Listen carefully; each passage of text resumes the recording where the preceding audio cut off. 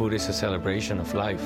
Day of the Dead is about remembering people that have passed away and also about celebrating the people that are still here. It's tragic but fun at the same time, and, and those contrasts are so present in Mexico in many ways that I think it makes it the perfect Mexican holiday. Culinary Journeys, Thursday on CNN.